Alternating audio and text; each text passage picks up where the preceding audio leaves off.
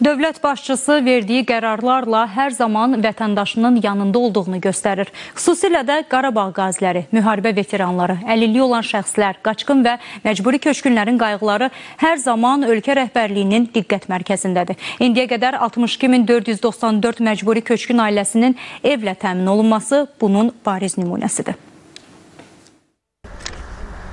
Qarabağ qaziləri, müharibə veteranları, əlilliyi olan şəxslər, qaçqın və məcburi köçkünlərin qayğıları hər zaman ölkə rəhbərliyinin diqqət mərkəzindədir.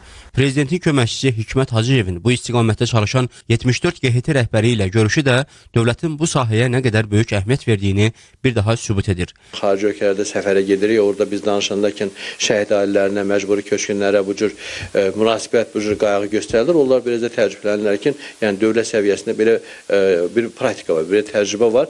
Onların hamısı qeyd olundu. Eyni zamanda problemlər də ortaya gəldi. Yəni problemlər e, həll eləmək üçün, o problemlərin həllinə kömək eləmək üçün o məsələlər orada qoyuldu ayrı-ayrı təşkilat rəhbərləri tərəfindən və o problemlərin də həlli hesab olunur ki, mümkündür. İndiyə qədər 62494 məcburi köçkün ailəsinə ev verilib. Bu ildə ümumilikdə 7000-dən çox məcburi köçkün ailəsinə mənzil veriləcək. Eyni zamanda onların məşğulluq məsələsi də diqqət mərkəzindədir.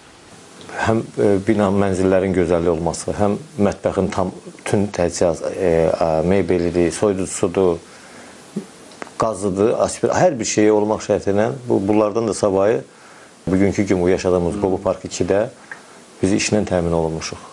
10 minə yaxın şəhid ailəsinə 11 min manat məbləğində birdəfəli ödəmələrin verilməsi, 8018 şəhid ailəsi və müharibədə əlil olmuş şəxslərin mənzillə təmin olunması, onlardan 6900 nəfərə avtomobil verilməsi dövlətin diqqət və qayğısının əyani sübutudur. Cari ildə də ümumilikdə 1500 şəhid ailəsi və müharibədə əlil olmuş şəxs mənzillə təmin ediləcək. Elvin Əliyev, İlqar Abdullayev, İTV xəbər.